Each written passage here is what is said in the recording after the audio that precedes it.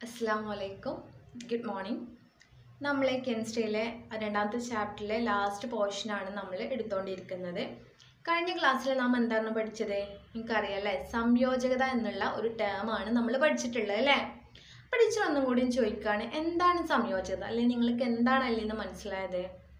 സംയോജകത എന്ന് പറഞ്ഞാൽ ഒന്ന് അഥവാ രാസപ്രവർത്തനത്തിലൂടെ പങ്കുവെക്കുമ്പോൾ ഇലക്ട്രോൺസ് പങ്കുവെക്കുകയോ നമുക്കറിയാം ഇലക്ട്രോൺസ് ചില കേസിൽ പങ്കുവെക്കുന്നുണ്ട് ചിലത് വിട്ടുകൊടുക്കുന്നുണ്ട് ചിലത് സ്വീകരിക്കുന്നുണ്ട്. അത്തരം ഇലക്ട്രോൺസിന്റെ എണ്ണത്തെയാണ് എന്ത് പറയുന്നത് സംയോജകത എന്ന് പറയുന്നത്. ടീച്ചറെ ഒരു എക്സാമ്പിൾ പറഞ്ഞുതരാം. ഉദാഹരണം സോഡിയം പതിനൊന്നാണ്. രണ്ട് എട്ട് ഒന്ന്. ഒരു ഇലക്ട്രോൺസിന് എന്ത് ചെയ്യും? വിട്ടുകൊടുക്കും. ഇപ്പൊ സോഡിയം രണ്ട് എട്ട് ഒന്നാണ്. ഒരു ഇലക്ട്രോൺസിനെ വിട്ടുകൊടുക്കുന്നുണ്ട് അപ്പൊ അതിലെ സംയോജകത എന്ന് പറഞ്ഞാൽ ഒന്നാണ്. അങ്ങനെയാണ് സംയോജകത കണ്ടെത്തുക. നമുക്ക് ഇന്ന് ഈ ക്ലാസ്സിൽ പഠിക്കാനുള്ളത് രാസസൂത്രത്തിലേക്ക്. ശ്രദ്ധിക്കുക രാസസൂത്രത്തിലേക്ക് എന്നുള്ള ടേമാണ് നമ്മൾ ഇന്ന് പഠിക്കാൻ പോകുന്നത്. അപ്പോൾ മെഗ്നീഷ്യനും ക്ലോറിനും കൂടി ചേരുന്നുണ്ടെന്ന് വിചാരിക്കുക. അപ്പൊ അതിന്റെ രാസസൂത്രം എങ്ങനെയാണ് എഴുതാന്നാണ് അപ്പൊ നമ്മുടെ ടെക്സ്റ്റ് ബുക്കിൽ ഒരു കോളം ഉണ്ട്. ആ കോളം എങ്ങനെയാണ് ഫില്ല് ചെയ്യാൻ നമുക്ക് നോക്കാം. ഓക്കെ ശ്രദ്ധിക്കുക. നമ്മൾ മഗ്നീഷ്യത്തിന്റെയും അതേപോലെ ക്ലോറിന്റെയും ആണ് നമ്മൾ നോക്കാൻ പോകുന്നത്. നമ്മുടെ ടെക്സ്റ്റ് ബുക്കിൽ ഒരു കോളം ഉണ്ട്. ശ്രദ്ധിക്കുക. മഗ്നീഷ്യം എന്ന് പറഞ്ഞാൽ മഗ്നീഷ്യനാണ് എം ജി എന്ന് പറയും. മഗ്നീഷ്യത്തിന്റെ അറ്റോമിക നമ്പർ എത്രയാണ്? പന്ത്രണ്ടാണ് ശ്രദ്ധിക്കുക. അറ്റോമിക നമ്പർ പന്ത്രണ്ടാണ് അപ്പം ഇതിന്റെ ഇലക്ട്രോൺ വിന്യാസം രണ്ട് എട്ട് രണ്ടാണ് ഇവിടെ നമ്മൾ ഇലക്ട്രോൺസ് നമുക്ക് അഷ്ടവും പൂർത്തിയാവാൻ എട്ട് മതി. അപ്പോൾ ഈ ഇലക്ട്രോൺസ് ആണ് നമ്മൾ എന്ത് ചെയ്യുക? വിട്ടുകൊടുക്കുക. കൊടുക്കുക രണ്ട് ഇലക്ട്രോൺസ് നമ്മൾ എന്ത് ചെയ്യും? വിട്ടുകൊടുക്കുന്നത്. അതേപോലെ ക്ലോറിന് ശ്രദ്ധിക്കുക. ക്ലോറിന് പതിനേഴാണ്. അപ്പോൾ രണ്ട് എട്ട് ഏഴ്. ഒരു ഇലക്ട്രോൺസിന്റെ ആവശ്യമുണ്ട്. അപ്പൊ ശ്രദ്ധിക്കുക. ഇത് എന്താണ് മൂലകം? ഇതെന്താണ്? അറ്റോമിക നമ്പർ ഇതാണ് മഗ്നീഷ്യന് അതേപോലെ അതിന്റെ അറ്റോമിക നമ്പർ ഇലക്ട്രോൺ വിന്യാസ് രണ്ട് എട്ട് രണ്ട് അതിന്റെ വിട്ട് കൊടുക്കുന്നത് രണ്ട്. ക്ലോറിൻ ആണെങ്കിൽ പതിനേഴ് രണ്ട് എട്ട് ഏഴ് ഒന്ന്. അപ്പൊ മഗ്നീഷ്യനും ക്ലോറിനും കൂടി നമ്മൾ സംയോജിക്കുകയാണ് ചെയ്യുന്നത്. അപ്പോൾ അവിടെ ഉണ്ടാകുന്ന രാസസൂത്രം എങ്ങനെയാണ് എഴുതാണെന്നാണ് നമ്മൾ നോക്കുന്നത്. അപ്പോൾ മഗ്നീഷ്യനും അപ്പോൾ ഒരു ഇതിലെ ഇലക്ട്രോൺസിന് സ്വീകരിക്കാൻ എത്ര ക്ലോറിൻ വേണമെന്ന് പറഞ്ഞു? രണ്ട് ക്ലോറിൻ ആറ്റം വേണമെന്ന് പറഞ്ഞു അല്ലേ? അപ്പൊ ഇതിന്റെ രാസസൂത്രം എന്താണ്? M G C L two എന്നാണ്. നമ്മൾ ഇതാണ് ഇതിന്റെ രാസസൂത്രം എന്ന് പറയുന്നത്. രാസസൂത്രം. ശ്രദ്ധിക്കുക നമ്മളെ നമുക്കറിയാം മഗ്നീഷ്യത്തിന്റെ ഇപ്പൊ നമ്മൾ ഇതൊന്നും ഇല്ലാതെ നമുക്ക് എങ്ങനെ എഴുതാൻ നോക്കാം. മഗ്നീഷ്യത്തിന്റെ സംയോജകത എത്രയാണ്? രണ്ടാണ്. ക്ലോറിന്റെ എത്രയാണ്? ഒന്നാണ്. അപ്പൊ നമ്മൾ എഴുതുമ്പോൾ ശ്രദ്ധിക്കുക മഗ്നീഷ്യത്തിന് ആരെ സംയോജകത എഴുതാം? ക്ലോറിന്റെ എഴുതാം. അപ്പൊ ഇവിടെ ഒന്ന് നടത്താം ഒന്നാവുമ്പോ നമ്മൾ എഴുതേണ്ട ആവശ്യമില്ല. ക്ലോറിൻ ആരുടെ എഴുതാം? സംയോജകത ആരുടെ എഴുതാം? മഗ്നീഷ്യത്തിന്റെ എഴുതാം അപ്പൊ പാദാംഗമായിട്ട് ഇതിന്റെ സംയോജകത ഓപ്പോസിറ്റ് ഉള്ള ആളത് എഴുതാം അങ്ങനെയാണ് നമുക്ക് എന്ത് കിട്ടുക? രാസസൂത്രം നമുക്ക് എഴുതാൻ പറ്റുക. അപ്പൊ ഓക്കെ ശ്രദ്ധിക്കാം. മഗ്നീഷ്യത്തിന്റെ സംയോജകത രണ്ടും ക്ലോറിന്റെത് ഒന്നുമാണ്. അപ്പൊ നമ്മൾ ഓപ്പോസിറ്റ് ആയിട്ടായിട്ട് എഴുതിയിട്ടാണ് നമുക്ക് എന്ത് കിട്ടുന്നത്?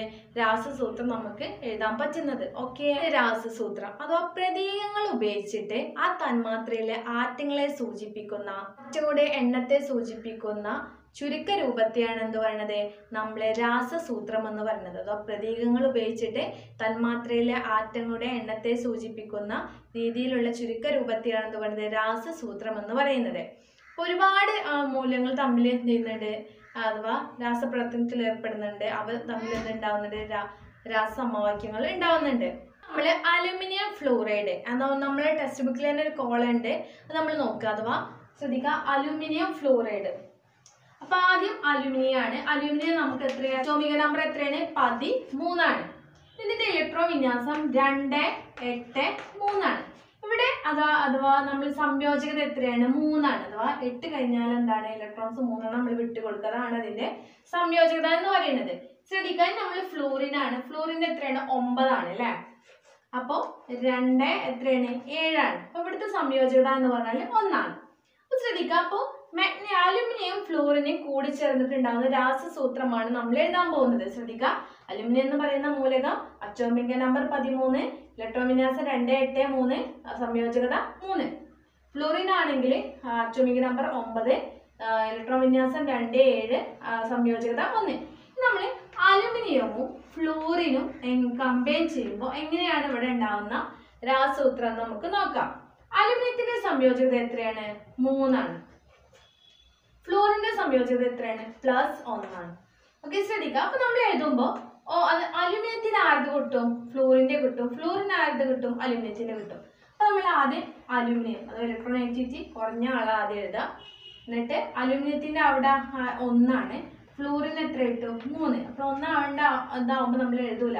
അപ്പോൾ എ എൽ എഫ് ത്രീ എന്നാണ്. അലുമിനിയവും ഫ്ലൂറിനും ഉണ്ടാവുന്നുള്ള രാസ സമവാക്യം അലുമിനിയവും ഫ്ലൂറിനും കൂടി ചേർന്നിട്ടുണ്ടാവുന്ന സംയുക്തത്തെ നമ്മൾ എന്ത് പറയും?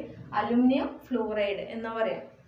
എൽ എഫ് ത്രീ ആണ് ഇതിന്റെ കെമിക്കൽ ഫോർമുല അല്ലെങ്കിൽ രാസസൂത്രം എന്ന് പറയുന്നത്. അപ്പൊ നമുക്ക് സംയോജകത പഠിഞ്ഞാൽ നമുക്ക് ഏത് രണ്ടാളുടെയും എന്ത് എഴുതാൻ പറ്റും? രാസസൂത്രം എഴുതാൻ പറ്റും. ശ്രദ്ധിക്കുക. നമ്മൾ ഇനി ഇവ രണ്ടിന്റെയും രാസൂത്രമാണ് നമ്മൾ എഴുതാൻ പോകുന്നത്. ഇത് സോഡിയം ഓക്സൈഡ് നമ്മൾ സോഡിയം ഓക്സൈഡ് നമ്മൾ എഴുതാം. സോഡിയം പിന്നെ ഓക്സൈഡ് അല്ലെ എൻ എ ഒ ആണ് അപ്പൊ ഇതിന്റെ സോഡിയത്തിന്റെ പിന്നെ സംയോജകത എന്ന് പറഞ്ഞിട്ട് രണ്ട് എട്ട് ഒന്നാണ് അല്ലെ അപ്പൊ ഒന്നാണ് ഇതിന്റെ സംയോജകത പ്ലസ് ഒന്ന്. ഇവിടെ ഓക്സിജൻ എത്രയാണ്? രണ്ട് ആറ്. അപ്പൊ രണ്ട് ഇലക്ട്രോൺസ് നമ്മൾ സ്വീകരിക്കണം. അപ്പൊ ഇതിന്റെ സംയോജകം എത്രയാണ്? പ്ലസ് ടു ആണ്. അപ്പൊ നമ്മൾ സംയോജക രാസൂത്രം എഴുതുമ്പോൾ എൻ എ ടു ഓ അഥവാ ഓപ്പോസിറ്റ് എഴുതുക എൻ എ എൻ എന്റെ അവിടെ ആരുടെ എഴുതുക ഓക്സിജന്റെ എഴുതുക ഓക്ക് ആരുടെ എഴുതുക നൈട്രജൻ സോഡിയത്തിന്റെ എഴുതുക അപ്പൊ എൻ എ ടു ആണ് ഇതിന്റെ സോഡിയം ഓക്സൈഡിന്റെ രാസൂത്രം എന്ന് പറഞ്ഞാൽ എത്രയാണ്? എൻ എ ടു ഒ ആണ്. ഓക്കെ അടുത്തത് അലുമിനിയം ക്ലോറൈഡ്. അലുമിനിയത്തിന് നമുക്ക് ഇപ്പൊ നമ്മൾ പഠിച്ചു എത്രയാണ്? അലുമിനിയം രണ്ട് എട്ട് എത്രയാണ്? മൂന്നാണ്. മൂന്നാണ് ഇതിന്റെ സംയോജകത. ക്ലോറിന് എത്രയാണ് എത്ര? നമുക്ക് രണ്ട് എട്ട് ഏഴ്. അപ്പൊ ഒന്നാണ് സംയോജിത. അപ്പൊ ഇതിന്റെ എഴുതുമ്പോൾ A L C L three L അവിടേക്ക് അത് വരും. ക്ലോറിന്റെ വരും. സി എൽ എന്ത് ചെയ്യും? അലുമിനിയത്തിന്റെ വരും. A L C L three നമുക്ക് എന്ത് ചെയ്യാം? സംയോജകത എഴുതാം പ്രതീകങ്ങൾ ഉപയോഗിച്ചിട്ട് അയാൾ തന്മാത്രയിൽ ആറ്റത്ത് ആറ്റത്തിന്റെ എണ്ണത്തെ സൂചി സൂചിപ്പിക്കുന്ന രീതിയാണെന്ന് പറയുന്നത് രാസസൂത്രം എന്ന് പറയുന്നത്. ഇതാണ് ഇപ്പോൾ സോഡിയം ഓക്സൈഡിന്റെ രാസസൂത്രം ഇത്. ഇത് അലുമിനിയം ക്ലോറൈഡിന്റെ രാസസൂത്രം. ഇതാണ്. ഓക്കെ രാസ അടുത്ത രാസസൂത്രമാണ് നമ്മൾ എഴുതാൻ പോകുന്നത്. Aluminium oxide. അലുമിനിയത്തിന്റെ രാസൂത്രം എന്ന് പറഞ്ഞാൽ എന്താ? കെമിക്കൽ ഫോർമുല എന്ന് പറയുന്നത് എ എൽ ആണ്. അതേപോലെ ഓക്സിജന്റെ ഒ ആണ്. ഇപ്പൊ ശ്രദ്ധിക്കുക അലുമിനിയത്തിന്റെ സംയോജനം നമുക്ക് എത്രയാണ്? മൂന്നാണ്. ഓക്സിജന്റെ സംയോജകം എത്രയാണ്? രണ്ടാണ്.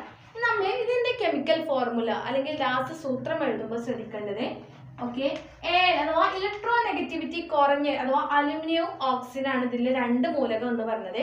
അപ്പൊ ഇതിൽ ഇലക്ട്രോ നെഗറ്റിവിറ്റി കുറഞ്ഞ ആൾ എന്ന് പറഞ്ഞത് അലൂമിനിയം ആണ്. അപ്പൊ അതുകൊണ്ട് നമ്മൾ ഫസ്റ്റ് പ്രിഫറൻസ് കൊടുക്കുക അലുമിനിയത്തിനാണ് പിന്നെ നമ്മൾ അലുമിനിയത്തിന്റെത് ഓക്സിജന്റെ സംയോജനം കൊടുക്കുക. രണ്ടാണ്. ഓക്സിജൻ ആര് സംയോജനം കൊടുക്കുക? അലുമിനിയത്തിന്റെ സംയോജനം കൊടുക്കുക.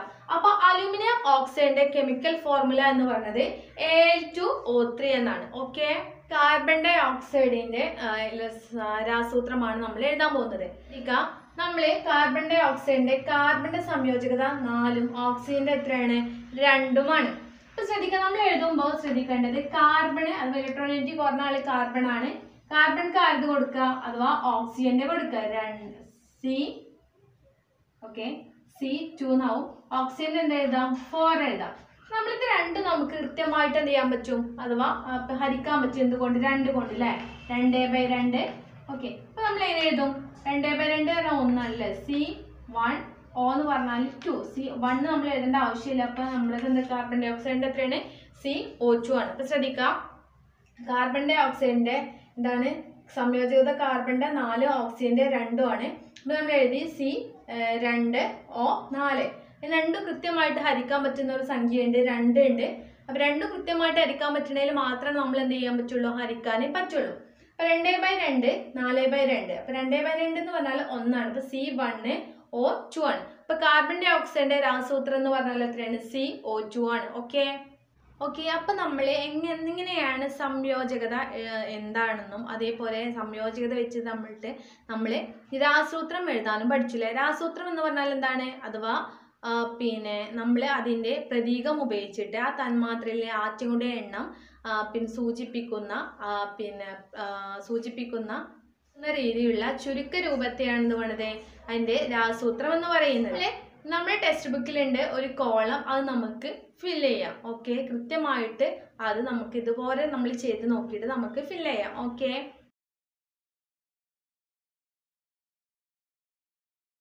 അപ്പം നമ്മൾ ഇതുവരെ പഠിച്ചത് അഥവാ ഇതിൽ ഒരു ഈ ചാപ്റ്ററിൽ ഒരുപാട് കാര്യങ്ങൾ നമ്മൾ പഠിക്കാണ്ട് അഥവാ കെമിസ്ട്രി എടുത്ത് മുന്നോട്ട് പോകുന്നതോറും ഏറ്റവും ആവശ്യമുള്ള ഒരു പാഠം തന്നെയാണ് നമ്മുടെ രണ്ടാമത്തെ ചാപ്റ്റർ എന്ന് പറയുന്നത്.